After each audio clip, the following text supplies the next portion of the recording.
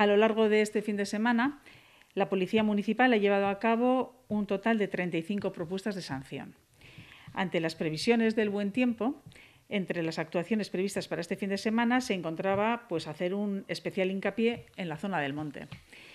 Eh, fue por la tarde cuando se encontraron un mayor número de grupos pequeños de gente y es ahí cuando se pide ayuda a la Archainza.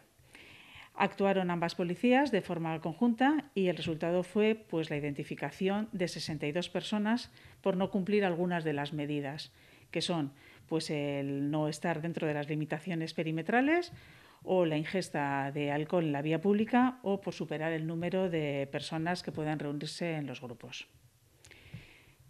Eso es lo que ha pasado este fin de semana, en realidad. No es que haya habido No ningún... habido una quedada. No ha habido una quedada como hemos podido igual diferir los medios de No. comunicación de la nota de prensa de la Ertzaintza. Yo creo- yo- una quedada masiva y eran pequeños grupos. No, no, no. Eran pequeños grupos de gente que, bueno, pues, eh, pues que ha quedado para ir a- al monte y que, bueno, pues algunos sí que han ingerido alcohol en, en esos pequeños grupos, pero no ha habido ningún, ninguna quedada, ni ningún macro botellón, ni nada de esto.